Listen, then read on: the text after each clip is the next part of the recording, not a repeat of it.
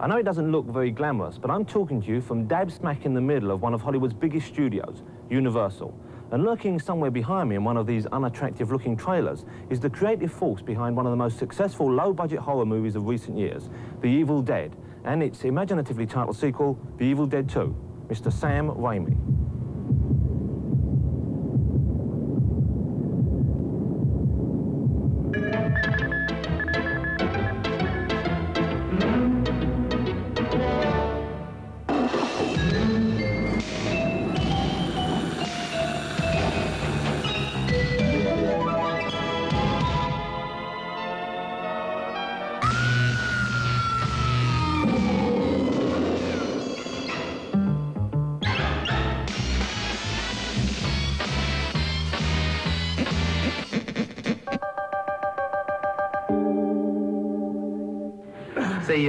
Just wondering, do they have blood banks in England? No. But they have a Liverpool. When The Evil Dead was released in 1982, it attracted rave reviews. Stephen King called it the most ferociously original horror film of the year. Yet the film had initially been turned down by every American distributor who had seen it. The Evil Dead was an independent production, financed by a group of doctors, lawyers and dentists from America's Midwest. And it marked the feature film debut of writer and director Sam Raimi, who remarkably was only 19 at the time. There are two schools of thought, I think, for horror filmmakers. One is that the audience can always create something more horrible than you can show them. And the other school of thought is show them, show them, show them, everything. And I believe that both is true. I believe the audience can come up with something more horrible in their minds than I can show them, provided they're given the raw materials to construct something. And I also believe that I have got some pretty horrible things to show myself, so I try and mix and match. I try and scare them and weird them out with visuals, and I try and leave room for them to add their own ingredients to create.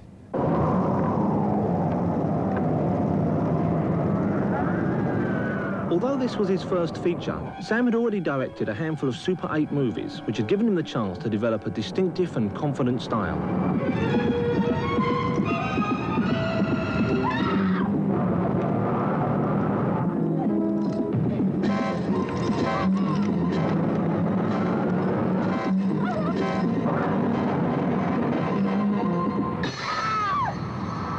Back to the beginning. How did you get started in filmmaking in the first place? What kind of movies were you making before The Evil Dead? Before The Evil Dead, my par- my friends and myself, just a group of school chums, and and and I, would make Super 8 uh, comedies, Three Stooges comedies. I think you're a punk. I'm All not. years you do it punks that don't know nothing. No, no, no, no. Please, boys, control yourselves. Listen, you hit a man with glasses, would you? Oh.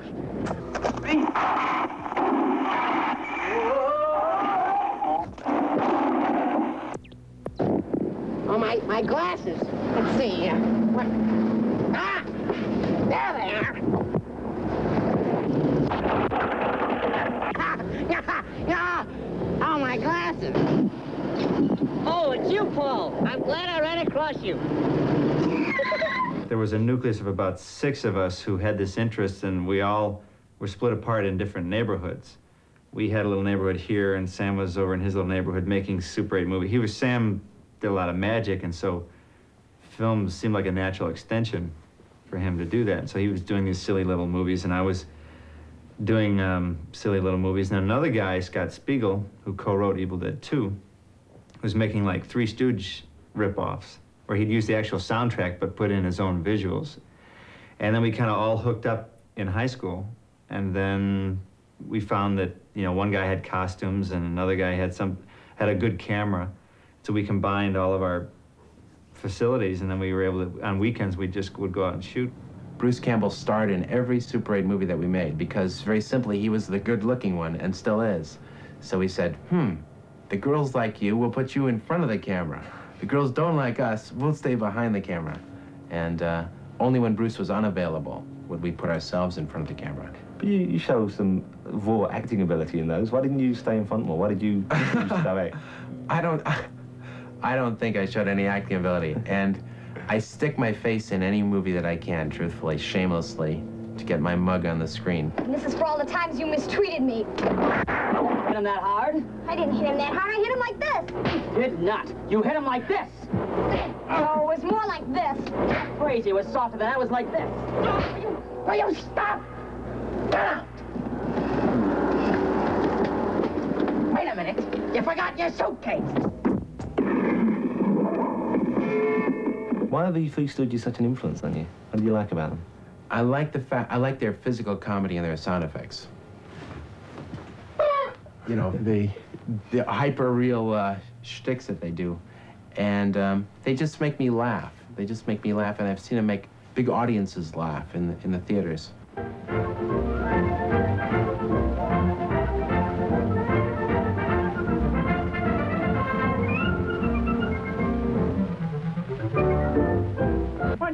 Me? What? Get out. Let him alone. Oh, oh cut it. Oh, man. Oh, oh. There. Oh, oh, oh, oh, oh.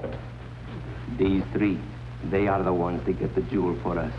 Tell us about Six Months to Live. That's not a Three Stooges plot, is it? It's Three Stooge like. And certainly we've ripped off, stolen blatantly as 16 year olds, many Three Stooges gags and did them ourselves. Um, so it was greatly influenced by the Three Stooges. So where would you show these films? In classrooms and at home? Or Yes, exactly. To the other students, would you charge money? sure, as much as we could get, usually a quarter. I'm the Pillsbury Doughboy with fresh cooking ideas. What are you doing? No, don't you dare hit me. Help! Sam and his school friends had ambitious plans. They wanted to raise money for a full-length feature. And although their Super 8s had been mostly comedies, they decided their first real film would be horror. The incredibly strange film show will continue on TDC TV.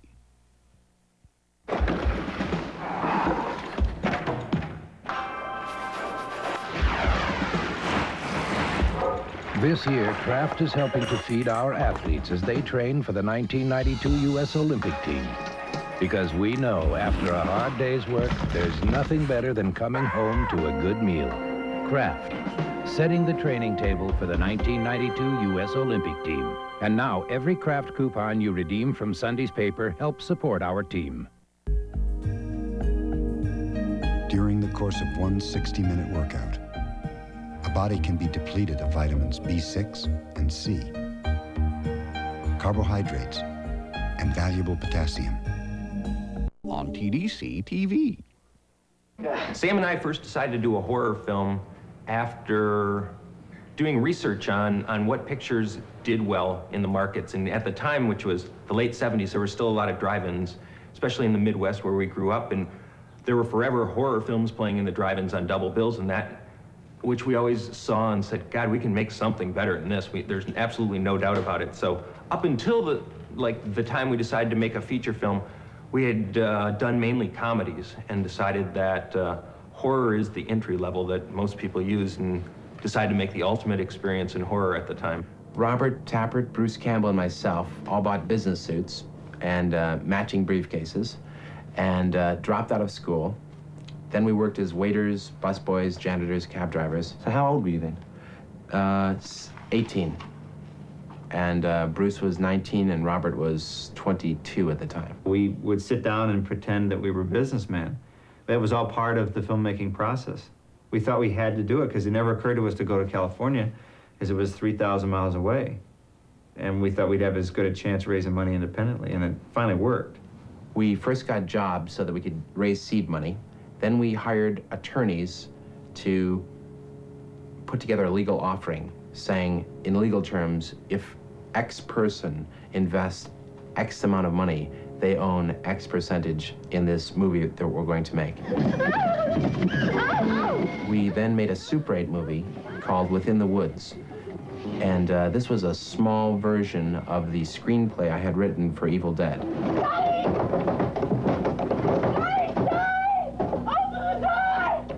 Reason we made this picture was to show the potential investors that these kids, us, that we could make a picture that worked, a horror movie that actually could scare them. I mean, that was our goal, at least. I hope it scared them. The door. Yes. wanted to have a terrible creature, a spirit, something that floated through the woods at a different height than we're used to seeing things. So we used a shaky cam. We came up with a board where we mounted the camera in the middle, and the lens act as the, uh, acted as the axis. And uh, it's ended up smoothing out the point of view because the longer the board was that the camera was mounted on, uh, it, the jiggle, this, this effect, well, cinema verite there, uh, decreased proportionate to the length of the board. So it gave us a very eerily smooth look, and uh, it seemed to work out okay.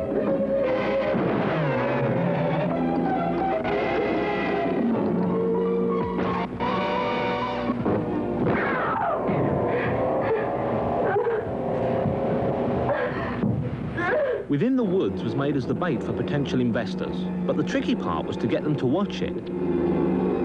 We did was we would call them and say, yes, we're a friend of Dr. Perkinson's, and he's gave you, uh, he has given us your name and said that although he could not invest, you might be able to. Well, uh, I certainly can invest. I, I, can't invest. I won't have anything to do with you. Well, why don't you let us come by your house and uh, show you our picture uh, within the woods and see if you might be interested after that. Well, I'm not really interested. Well, we'll be by around 8 o'clock. so we'd kind of force our way in and get the foot in the door. Then we'd set up our Super 8 projector and uh, show the movies on his dining room wall, take down some art, and uh, proceed to make them sick, and then hopefully uh, get the investment out of them. We had dentists, a couple of dentists go in. We had some real estate people. But it was tough to get people who had money in who, who were merchants who owned stores because a lot of those people had money and we, we would approach them they're used to paying money and getting heads of lettuce or bottles of wine and we wanted them to give us money for nothing for this movie that might be successful might not and i remember we showed this first little super 8 movie in the the detergent aisle of a grocery store after it closed to a couple of merchants and they didn't invest but we really went to we went to absolutely anybody who was financially capable of losing all their money.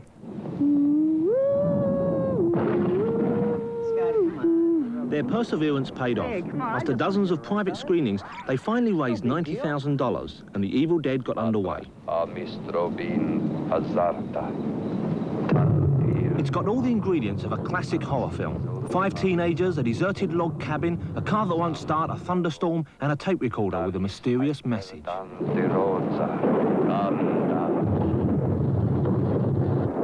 it off. Shut it off. Uh, I was the pseudo-hero, Ash, who was really just one of five generic people at the beginning, and then through a, a trial by fire, I kind of wise up a little bit and live. Why pseudo-hero? Because he's kind of an idiot. You know, if he hears a sound, he goes outside. He looks through doors that you know he shouldn't. So he's not really very smart. But then that's the staple of the horror movies. Oh, you have to. If you can't, if they were smart enough not to go to the cabin, you wouldn't have a movie. So, you know, they show up and it's a creepy place. Well, let's go in. You know, and they found a tape recorder with some weird sayings on it. Oh, that sounds great. Let's play that. You know, and then people are possessed and like, oh, what do we do now? And uh, you can't be too smart the first couple of times. So you let some monsters kill some innocent people. But it's important to have victims. So we were really, five of us were victims. So I was a pseudo-hero only because I was really a victim for most of the movie.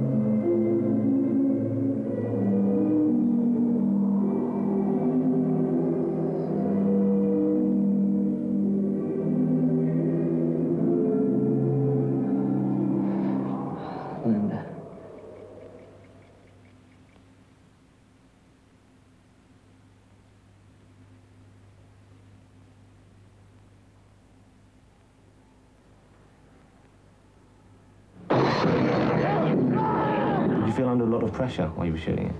Yes, I felt under great pressure. And it was not artistic pressure, it was all financial pressure because there were no expectations on me as a kid. It was all a question of, I have $90,000 of these people's money who I promised I would make a good movie out of. This has got to be good. It's strange, but that's where I was coming from back then. So what do you think would have happened if the movie hadn't been a hit? Well, then I would uh, be selling air conditioners again, which I'm pretty good at. You see this little baby that'll put out 200 BTUs. It'll cool a room basically 20 by 40, and uh, if you want to blow it around with a fan, I got that too. Uh, sell air conditioners was terrible. So did they make the money back? In fact, on Evil Dead number one, we've returned to the investors about three and a half times our original investment. How much control did they exercise over the movie? Did they keep in touch and keep an eye on how things were going? No, they were very good to us, actually, the investors. They never hassled us. We would, uh, we would give them uh, a bi-weekly letter to tell them where we were and what it was going on. Uh, at this point, the picture is in editing, the picture is uh, in music, the picture is in dubbing. And uh, then we sent them two invitations to the uh, world premiere.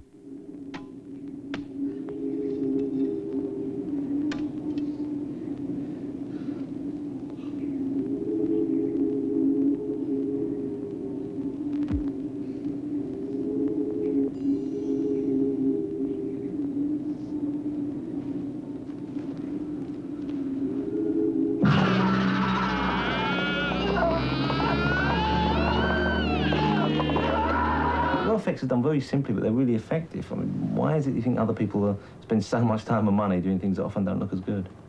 I think it's the same syndrome for all low-budget filmmakers. They just don't have the money to do it right, so they've got to do it. They've got to sit down and figure it out. Well, how can I make somebody float? Well, they, something has to lift them up. Well, what's going to lift them up? Wires? I don't have wires thin enough, nor do I have a rig to mount to the ceiling of this place. What else? So uh, I think it's just common sense. So do you think as you move into a bigger budget that you might lose some of your common sense and start? Yeah, I think that that happens.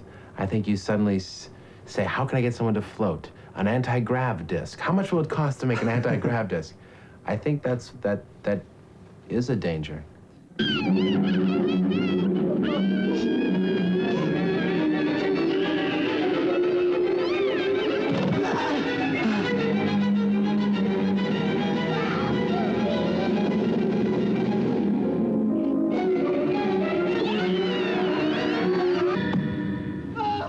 Investors came up to me after the movie and said, and they were a little bit angry, you told me you were going to make a horror picture. Now, this is a comedy. Well, it's a horror picture with elements of comedy. I, but when the checks started coming in, when, when it turned out that we had made something that could actually sell, um, they loosened up and realized that we hadn't let them down. How did you go about getting a distribution deal? Rob Tapert, Bruce Campbell, and myself uh, went to the home of distributors, New York, first, and we crashed on people's floors. And I remember one place, we didn't have enough money to rent a hotel room or a motel room, so Bruce called this girl that he knew liked him. Say, uh, Betty, I'm gonna come by your place. I'm in town. Oh, great, come on by, Bruce. Hey, can I stay the night? Sure, I'd love it. She was coming on to him in Detroit. So Bruce goes, shows up at her door. She opens it. Bruce, I. Rob and I are there. Hello, hello, we're here too. She went, oh, you're all here. Okay, come on in. You can stay the night. So it was a nightmare to use this woman's apartment. We had to dupe her, first of all. And then Rob and I would hear this horrible struggle going on in the back room. This apartment was no bigger than this room. Her advances on Bruce. Meanwhile, I was trying to fall asleep, pretending it didn't exist. She had six cats in this apartment. Not that I was in any position to complain, mind you. I'm just saying that when I awoke, I slept in a bed of cat hair. when I awoke, my face had a, all puffed out. It was, it was a nightmare. We'd ride the subways with our film cans in hand, show them to distributors in screening rooms, wait outside nervously, drinking coffee, pacing around, reciting the lines that we would say to him about how good we thought it would be, and rehearsing our dialogue. We'd come in when the movie was over. He'd be sleeping, you know. Is it over? So we had a lot of very discouraging experiences. All no's. Luckily for Sam, the film met with a different response in Europe. After a screening at the Cannes Film Festival, it was picked up for distribution in Britain by Palace Pictures.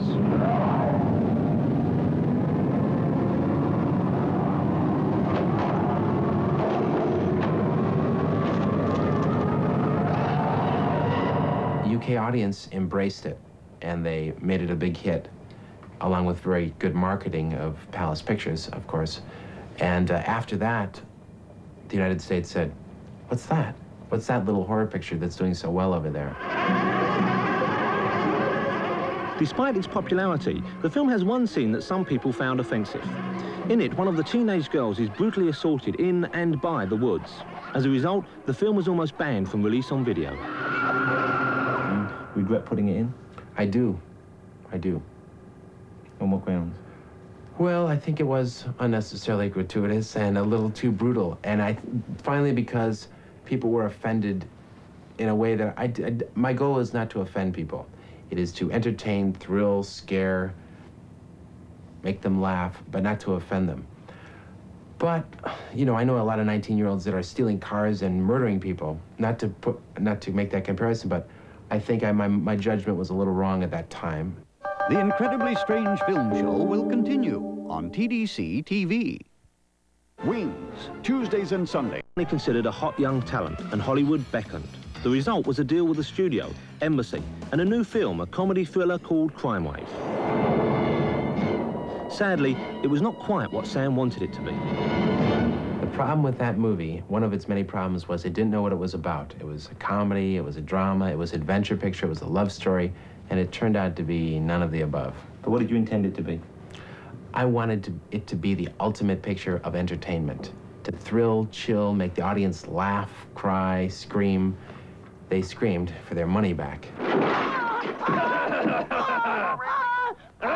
Well, it really wasn't that bad, and it contains some wonderful set pieces, like this one.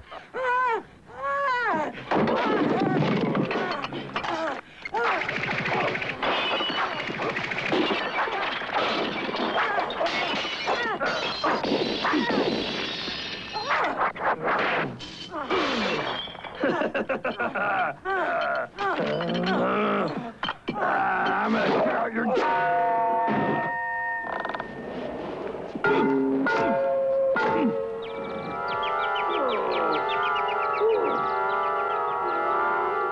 We were dealing with unions for the first time, and so we didn't schedule it properly. Again, we didn't budget it properly. So we started to go over schedule, over budget, and the studio people said, you know, they'd fly in their their uh, cutthroat men and say, you know, what pages do we tear out here, you know? And so the script would be revised in order to stay on schedule. And it was a lot of give and take. We didn't have nearly the freedom as our first film because investors aren't going to come on the set. A dentist isn't going to say, are you sure that camera angle is right? You know, how many pages did you shoot today? They don't care. So we, they never set foot on the set. But with Crime Wave, they were in our face all the time, and it was a very tough experience. They replaced my actors. They threw Bruce Campbell out of the lead. They threw out my mus- musician, Joe LoDuca. They recut the picture. They had their own say with the sound effects and mix. They did everything they could to make it what it is today.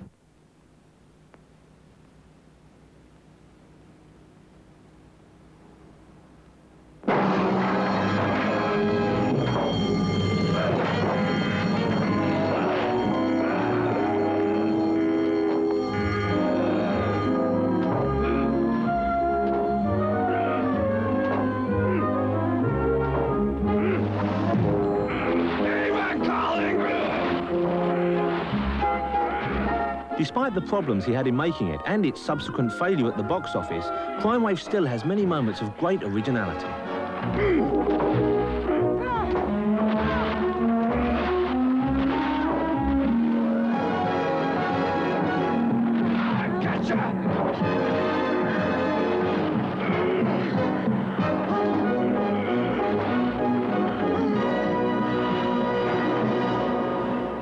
Although Sam now has projects in development for the major studio Universal, he hasn't totally abandoned the world of low-budget independent movies. Here we are in downtown Los Angeles on the set of Night Crew, a new shocker directed by Sam's old school friend and co-writer, Scott Spiegel. Sam, tell us what you're doing here today. What are you working on? This is a, a movie Scott's making called Night Crew, horror picture, and I play a small role of Randy the Butcher. He does cute things like uh, eat uh, olives and uh, the killer has placed a uh, eyeball in a jar of olives. He's just about to eat it, and, well, you'll see the movie. And uh, he does all kinds of funny things and, and cool things until his grisly demise on a meat hook. Get set for an all-night chopping spree with The Night Crew, starring Elizabeth Cox of 16 Candles and Sam Raimi, director of Evil Dead 1 and 2. Good evening, Walnut Lake shoppers.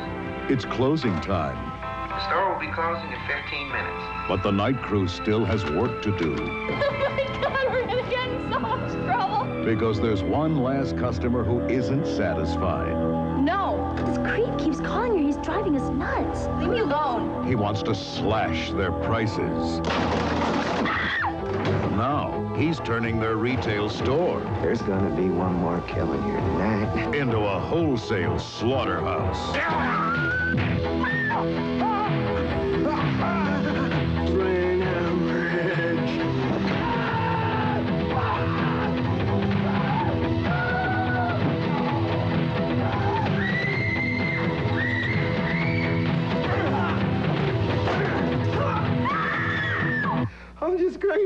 This store.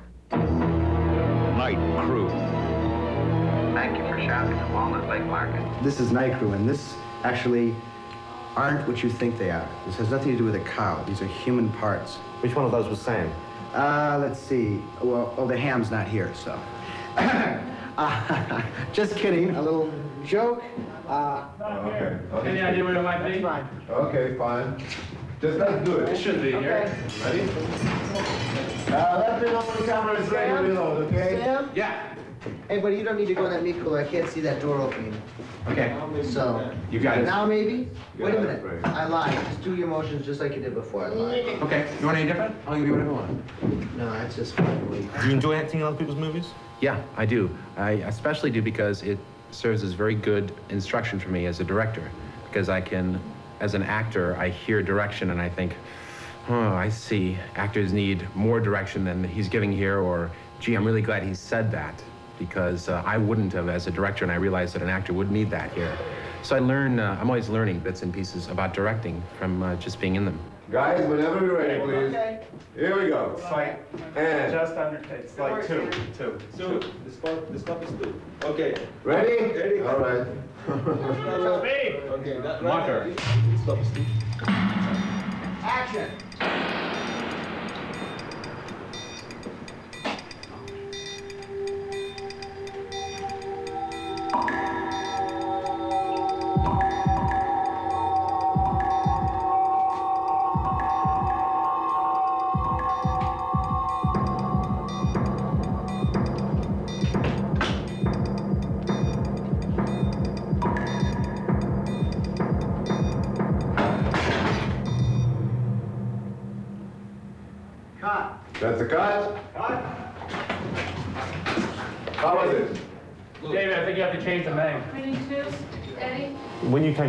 Evil Dead 2 with Sam, what were you trying to do? How, were you trying to make it differently to the first film? Um, well, Sam and I were just trying to figure out, um, there's only so many things you can do in the horror genre without just repeating yourself. And we just thought that we might just make it as wild and, and maniacal as we humanly could. So that's, we just went overboard, just over the top with everything. Some humorous, some gory, some scary.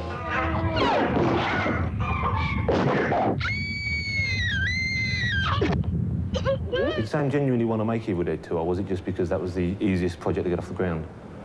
Um, it was probably a combination of the two. I think after Crime Wave, he needed to, he wanted to, and I know uh, just to make a movie that worked, and we knew that Evil Dead 2 would work, and that it had a certain audience, and it could make money for somebody, and that we could make a good picture out of it for, which are really right reasons to make a movie. Uh, I know there are other tales that we may have rather have told, but they were much more expensive and beyond our range. Evil Dead 2 uh, was taken around by Robert Tapert, Bruce Campbell, and myself to about 12 different companies out in Los Angeles, financing distribution companies like Crown International, um, Columbia Pictures, MGM, Universal, and we met with constant rejection until we brought the script to De Entertainment Group, which is now, I think, defunct. But nevertheless, uh, we showed the script to Dino, and uh, he said, How much you want for this picture? so we said, uh, we told him what we needed, which was basically uh, three and a half million to four million. And he said, Okay. We had all the figures for how the picture had done in all the theaters in Rome on Evil Dead. And so when we went to meet Dino, knowing that he knew all the theaters in Italy, we took him all the grosses of how it did in Rome, and he was able to go through them and say, okay, I'll make the movie. And that was, uh, and it was just that simple once we got to Dino. It was one day, and then he said the next day, go to North Carolina, can you shoot it there?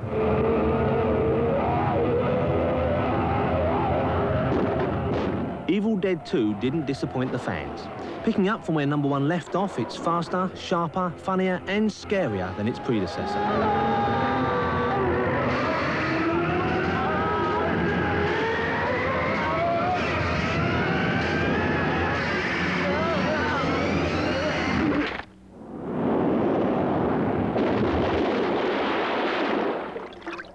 Rob and myself and Bruce thought that that was all there was to Evil Dead.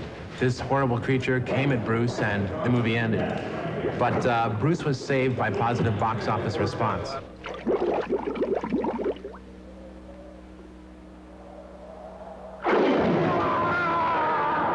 And uh, this time we were able to surround Bruce Campbell with a much higher caliber of professional actor, as opposed to just local Detroiters in the theater groups. Really, every aspect of the production was now manned by a professional, where before it was uh, people who we could get off the street who would do it for next to nothing. So how did that affect the way you work? It was wonderful.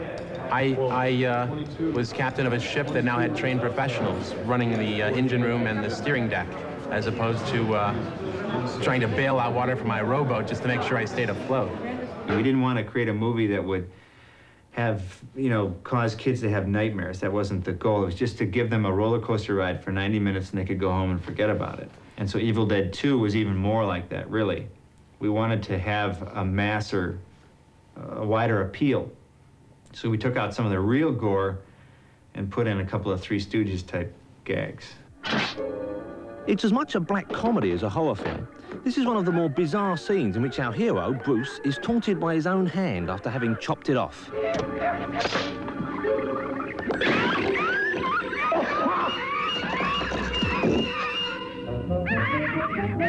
How much of the humour was intentional in? Um, in the hand scene, it was intentional. We tried to make it uh, eerily funny. There's an appalling pun in there, isn't there, concerning a, a Hemingway book. Have you got any shame, Sam? No. Now when it comes to telling jokes, bad jokes for the audience, anything that could get a laugh, I'm usually in favor of. Here's your new home.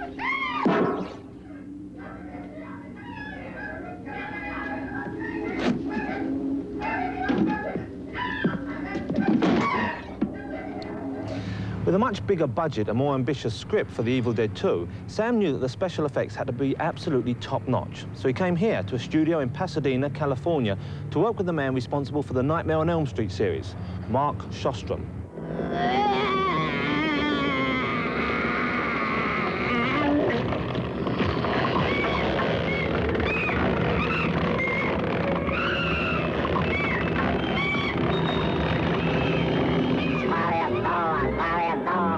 Favourite special effects scenes in the movie? I think anything involving Henrietta, which is part of this creation here. This is Henrietta in the later stage, isn't it? This is Henrietta after his or her head transforms.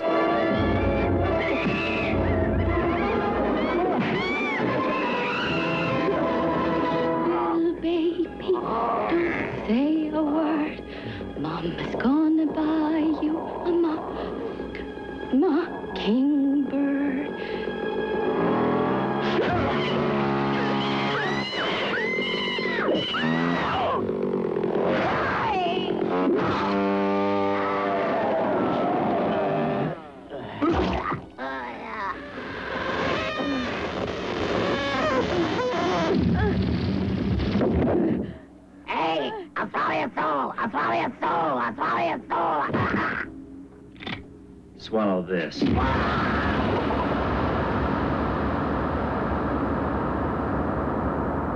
And the poor unfortunate chosen to play Henrietta was Sam's brother, Ted Raimi. We had to put Ted Raimi in a stunt harness on wires and put the suit on him and the makeup, you know, a six hour makeup job. So before the day even began, he was extremely uncomfortable. They hoisted him on the wires. He's floating around the room. He's got contact lenses in. He's sweating. And Sam's going, look this way. Yeah, okay, now act. Now hit your mark. And uh, it was, uh, it took about three days to shoot that whole scene. It sounds like the worst job in the world. For Ted Raimi, I'm sure it was. Is that why he used his brother? He knew he could get away with it? Sam knew he could. It was a, it was a very smart move.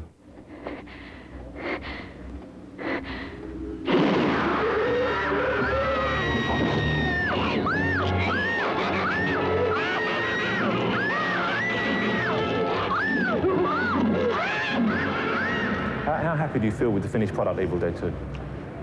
It's okay. I think it's okay. Uh, it was a fine picture to make when I was 26, and now that I'm 28, I want to make a picture that's probably about 10 times as good.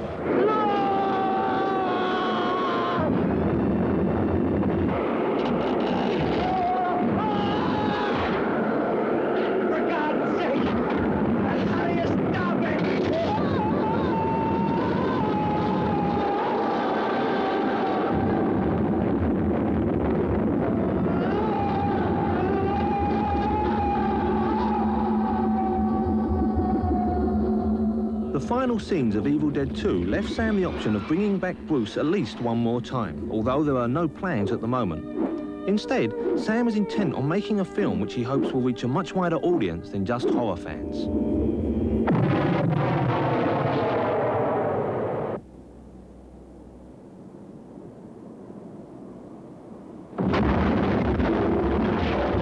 Oh man, he's got the, the best visual style of anyone around today. An incredible visual style and a sense of pacing, which is another thing that I think is very important in directing. I think he learns an incredible amount every time he makes a movie. And it, I think that's a good indication because the more he makes, I think the better he's going to get. I'm waiting for him to reach his full potential, uh, because then I think he'll make a movie that everyone will respect. I mean, something that is of a Capra or a Spielberg. I think he has those qualities to, of, of a great director. I love movies, and I love entertaining the audience, or I love trying to entertain the audience. Uh, I mean, uh, I'm not making any bold claims. I'm just saying uh, my goal is to thrill people with the movies, and hopefully, when I'm a good enough filmmaker, to enlighten, uh, not enlighten, but what I mean to say is uh, uplift them. Uplift them. That's the word I mean to say. The Incredibly Strange Film Show will continue on TDC TV. Best of the BBC, Sundays at 7 Eastern on the Discovery Channel. Timing is everything at your Cadillac dealer. Because right now, when you buy a new 1991 Cadillac, you'll receive up to a $2,500 bonus.